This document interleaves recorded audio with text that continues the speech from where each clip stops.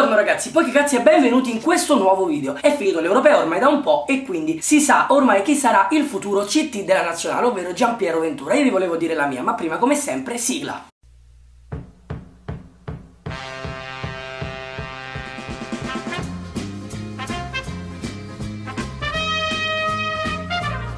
Allora, partiamo dal presupposto che a me mi sta sul cazzo Ventura, mi sta sul cazzo perché ormai si, sape, si sanno i precedenti eh, suoi con la Roma, cioè ovviamente è stato sempre un caso, però è capitato che quando gioca con la Roma ti mette pure Gesù e la Madonna in campo, quando gioca contro gli avversari della Roma ti mette mh, bambini, piccolini, suoi figlioli, dice, eh, però i figlioli avevano poi ogni volta rompe il cazzo solo con la Roma, dei rigori, punizioni, vabbè, ma comunque queste cose sono miei punti di vista che possono essere condivisi o meno. A parte questo i romanisti sapranno di che parlo, a parte questo passiamo a Ventura, a me mi sta sul cazzo, però ragazzi è bravo bravo. E questo c'è da dirlo, è bravo, cioè sa far giocare bene la propria squadra. E non è che se l'ultimo anno è stato disastroso con il Torino vuol dire che è un allenatore disastroso, anzi, però c'è da dire che questa scelta ha dei pro e dei contro che noi analizzeremo in questo video secondo il mio punto di vista. Un pro, immediatamente, una cosa positiva, una cosa a favore è che si passa da un 3-5-2 a un altro 3-5-2 perché come Conte giocava appunto con il 3-5-2 con gli esterni larghi che andavano a fare fase difensiva e fase offensiva, lo stesso fa Ventura, l'ha sempre fatto con il Torino e lo farà anche in nazionale. Questo può essere una cosa buona perché non cambiare modulo e quindi non cambiare troppi giocatori per quanto riguarda il pacchetto della nazionale è cosa buona e giusta, i giocatori si stanno conoscendo, come hanno detto in molti non sono una selezione ma sono una famiglia, per cui il non cambio di modulo porterà a un non cambio di, eh, diciamo un, un, non stravolgimento del, della, delle scelte della,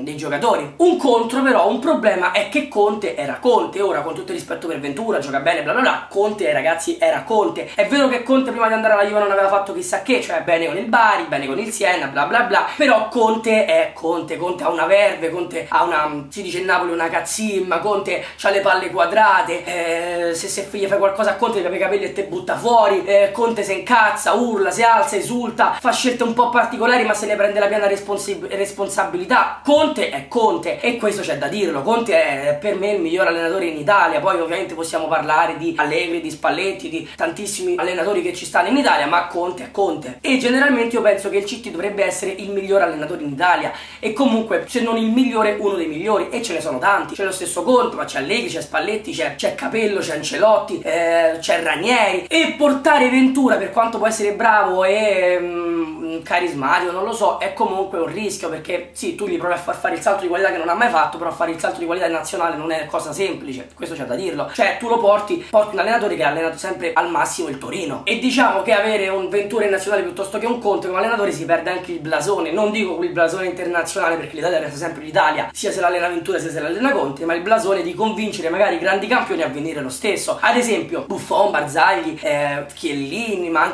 con, con Conte sarebbero venuti con tutto il cuore. È un po' diversa la situazione con Ventura, per me verranno lo stesso perché loro giocano più per la nazionale, però Conte ha un uh, verso Conte molti campioni hanno un occhio di riguardo. Però c'è anche un altro pro che è quello eh, a favore di Ventura che lui favorisce molto il cambio generazionale. Cosa voglio dire? Ve ne cito due in particolare. Al Torino ha lanciato lui Benassi e ha lanciato lui Janssen nell'ultimo anno. Poi ne ha lanciati ragazzi una fracca di giocatori mh, mm, Ventura. Se andiamo a vedere i suoi, i suoi trascorsi a Torino ha lanciato un sacco di giovani. Questi sono primi due che mi vengono in mente. E comunque è una buona cosa lanciare i giovani e in nazionale per i prossimi anni, per il prossimo avvenire ce ne sono una fracca. Già vediamo Donnarumma, Sportiello, Ruga, eh, Rugani, Romagnoli, Benassi, Berardi, Zappacosta, Sturaro, Lorenzi, Insigne, Bernardeschi, Verratti, Pelotti cosa voglio dire? Voglio dire che essendo un allenatore comunque bravo, capace con i giovani, può favorire il futuro italiano e questa è una gran cosa. Dovrà però tener su un'eredità pesante, eredità pesante perché Conte ha fatto bene con la nazionale. Per me arrivare qua al, ai quarti di finale dopo questo cammino è fare bene e ha fatto bene. Bisogna vedere se riuscirà